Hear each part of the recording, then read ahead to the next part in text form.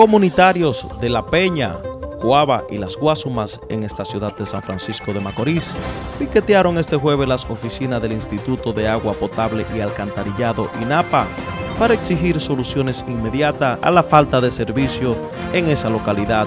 No hay gerencia y perdone que tenga que hablarle de frente en este término, no son mi forma de hablar.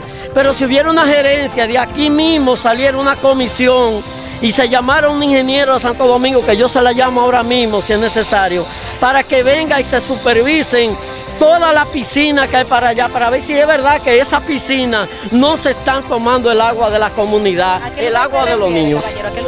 Eso, se, eso es a Cueva, el alto de Cueva, la bajada, para allá hay cerca de 10 piscinas que no se sabe de dónde están sacando el agua. Ahora, si se determina que las piscinas no son las que se están adueñando del agua, pues gloria a Dios, seguiremos buscando el problema a ver dónde está. Nosotros tenemos cerca de dos años dando viaje a esta oficina y diciendo que uno de los problemas mayores es la llave de paso que envía el agua para la peña que está instalada en el puente de Cuava, en el puente de Cuava Centro.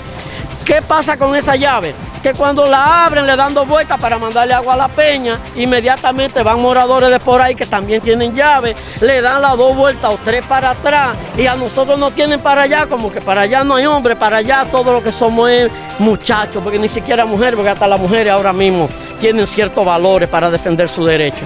Así es, nosotros exigimos que a partir de este momento a la peña se le busque una solución, porque de lo contrario van a pasar cosas que uno no quiere que pasen. La comunidad ya está tirada a la calle, que van a cerrar la oficina de INAPA ya, y se le va a aparecer 100 o 200 hombres un día de esto para acá porque estamos que no aguantamos más.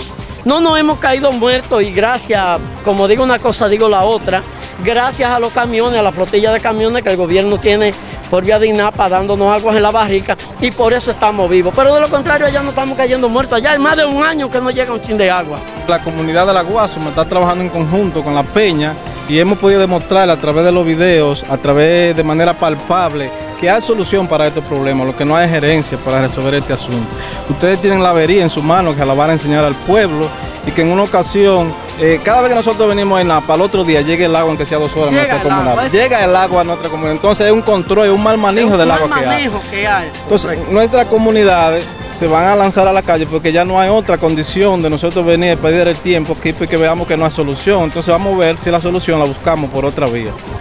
De su lado, el ingeniero Juan Carlos Lantigua, encargado de operaciones de INAPA, aseguró que analizarán las evidencias mostradas, pues la comunidad afirma las piscinas existentes en la zona tienen el servicio de agua paralizado.